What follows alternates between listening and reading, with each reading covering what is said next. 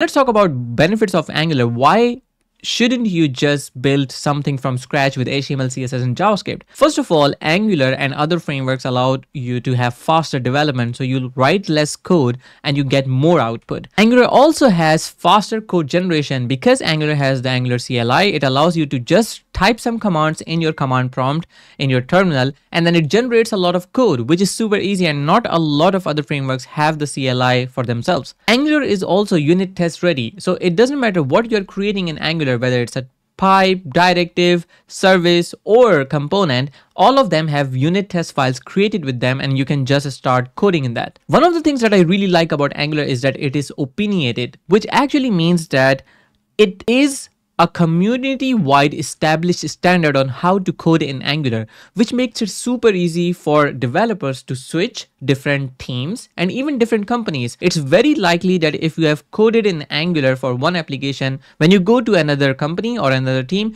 you'll find similar code, which is not the case for other frameworks out there which are not opinionated. And Angular provides a lot of code reusability. Since you can create components, services, pipes, you can basically reuse them multiple times in your project. And when you want to use it in another project, just copy the folder of the component service in the other one and you're good to go.